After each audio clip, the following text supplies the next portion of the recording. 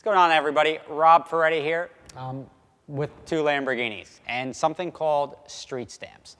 Now, I've been to every SEMA in the last six years or so. And when you go to SEMA, it's all about customizing cars. Cars are definitely an expression of oneself. And what I've learned in SEMA is everybody sort of does the same thing year after year. You very rarely see something revolutionary. This, I feel, is something that's a little bit different. It stands out. Uh, street Stamps takes, I guess, the idea of the street glow, which with the colors that go under the car, in the car, whatever, just something to personalize your car to make it stand out from the parking lot full of the same car.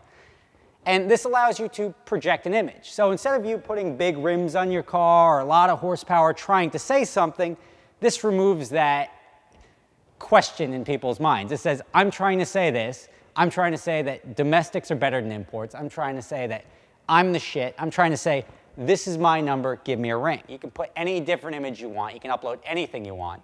And it really makes the car stand out. But you get a little envelope like this, and the envelope comes with a whole bunch of little discs.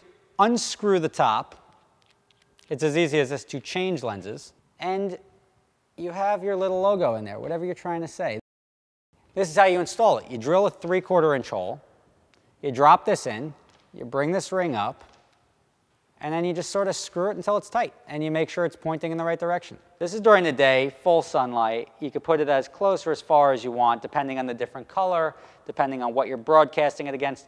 Most of them would be coming either out of the mirror, out of the thing, so when you open your door, it says what you want. Pretty cool. Definitely worth checking out. I'd like to see what you guys come up with, some of the designs you come up with.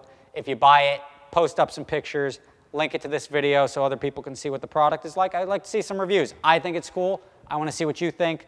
Post them up as video responses. New cool product. Probably one of the most revolutionary things I've seen in the last three or four years from the SEMA crew. Uh, if we put an LS motor in this thing, maybe it would be a little bit more revolutionary, but uh, everybody does that already. So let me know what you guys think. Thanks for watching.